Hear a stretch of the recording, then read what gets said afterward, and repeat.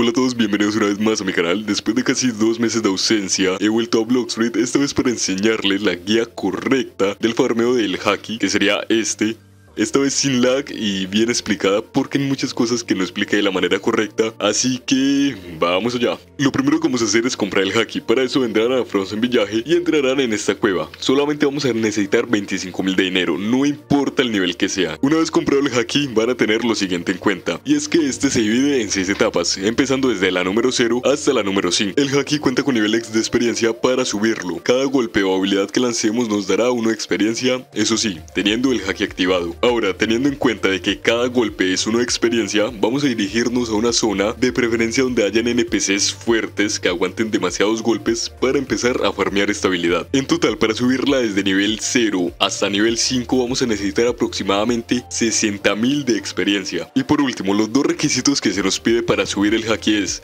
tenerlo activado y usar estilos de combate o espadas, nada de fruta ya sea que tengan Buda, o que tengan cualquier otra no la pueden usar. Una vez hayan llegado a la zona donde están los enemigos con los que ustedes desean enfrentarse, les recomendaría venir con una fruta de tipo logia, ya que esto no les podrán hacer daño y a la hora de farmear será mucho más sencillo. Por último, yo estaba completamente equivocado en mi video anterior. Yo dije que no se podían usar movimientos de combate o de las espadas, pero leyendo el fandom de Blockstreet se dice que sí se puede, o sea, con tal de que tengamos la mejor activada, podemos hacer daño ya sea con clic o con movimientos, como estos.